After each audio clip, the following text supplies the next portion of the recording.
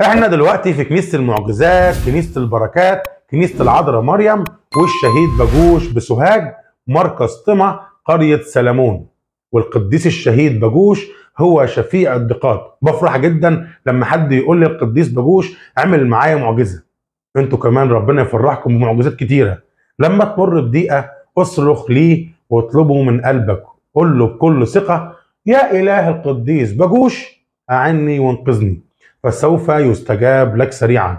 لأن ربنا وعده ان أي حد ينده باسمه وكان في ضيقات هيستجيب لي سريع وهو فعلا قديس وشهيد جميل جدا في استجابته. وأنا واحد من الناس اللي لمست استجاباته الكتيرة مع ناس كتير وكتير قال لي على معجزات جميلة. وبنعمة ربنا هنعمل حلقات كتيرة جدا عن معجزات هذا القديس. أنت وانت النهارده أي حد نفسه في أي طلبة أو بتمر بضيقة أو مشكلة أو نفسك في طفل أو محتاج لشغل هو على فكرة شفيع قوي جدا في الرزق والعمل. اطلبوه دايما وهو مش هيكسفكم ابدا بجد. ولد هذا القديس العظيم في بلدة تدعى بلاد المال وهي قرية من قرى الصعيد بمحافظة قنا كانت والدته من المسيحيات القديسات ومن أسرة ثرية كان من كتر محبته للفقراء كان قديس باجوش كان يتركهم في حقله علشان يعيشوا وينتقلوا فيه بحرية. كأنه بيتهم وكان بيصرف ليهم مرتبات علشان يعيشوا منها طول السنة. وكمان بيوزع إنتاج ثمار الفاكهة ويقسم كمان إنتاج المشية على الفقراء.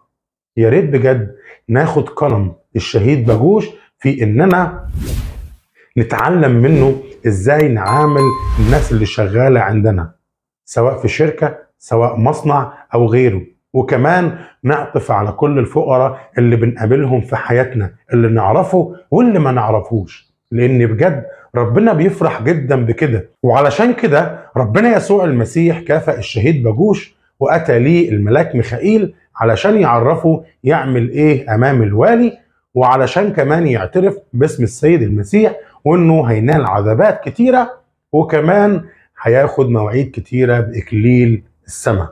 بسرعة الشهيد باجوش لبى الدعوة دي وزع ثروته على الفقراء والمعوضين طب إزاي؟ معقولة هتسيب كل العز اللي أنت فيه ده وكل الفلوس وكل الأراضي والأطيان وكمان هتوزعها طب سيب أي حاجة علشان ممكن أنت تروح تتعب وتتعذب ما تقدرش تكمل. ممكن تضعف يا شهيد باجوش طبعا كل ده غلط. الشهيد باجوش وزع كل حاجة لأنه كان واثق في السيد المسيح. إحنا بجد عايزين نثق في إن إلهنا إله قوي. يعني أنت لو عايز تروح الكنيسة مهما قابلتك مشاكل هتروح هتروح. لو أنت عايز تدي للفقراء اوعى تقول أنا محوج أو أنا محتاج الفلوس دي. اديهم يا عم. ده ربنا هيعوضك أضعاف. خدوا الشهيد باجوش ليكم النهارده في إعطاء الفقراء.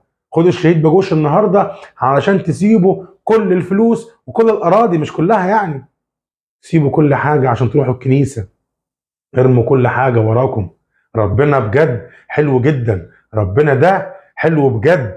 ولما تيجي تلمسوه زي الشهيد باجوش هتبيعوا كل حاجة علشان تاخدوا السماء علشان تاخدوا الأبدية.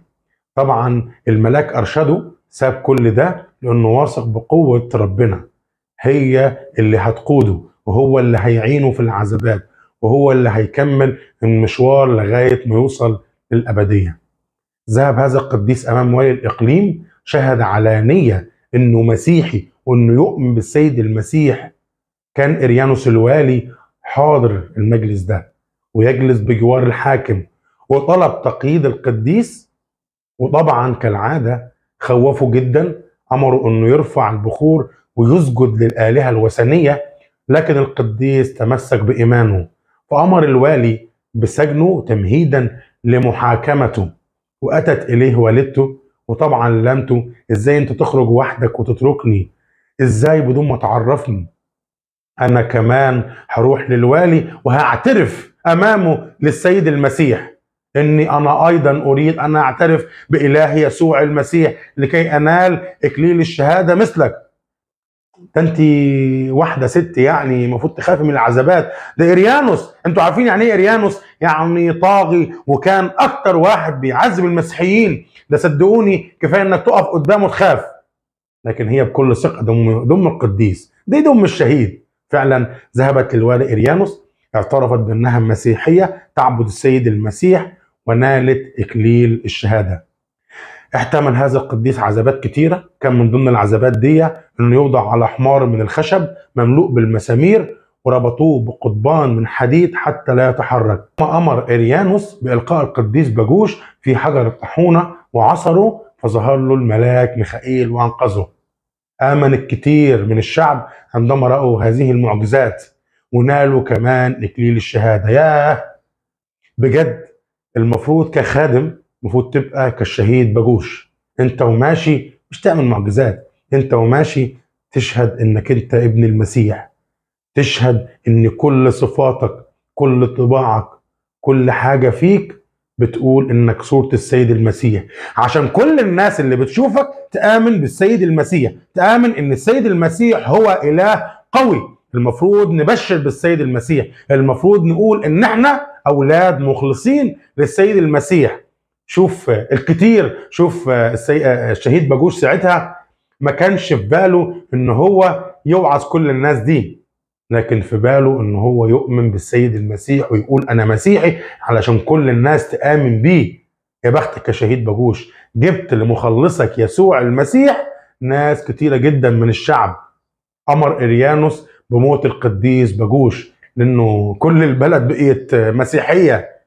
فركع القديس صلى إلى الله علشان يقويه. ركزوا كويس في الوعد اللي وعده له السيد المسيح وأرسل الملاك ميخائيل ويقوله له.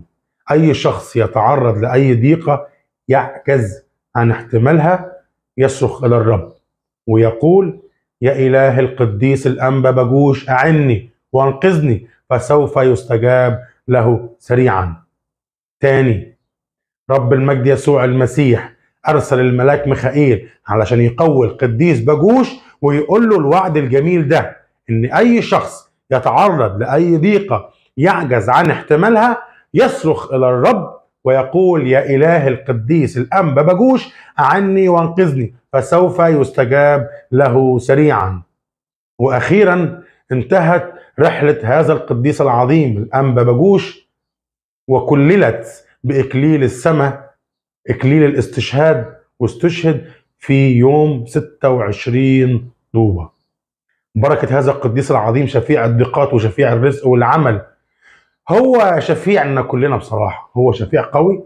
أتمناكم بجد أن ربنا يفرحكم بصلاة وبركة هذا القديس العظيم. ربنا يفرحكم وبركته وصلاته. أمين يا رب.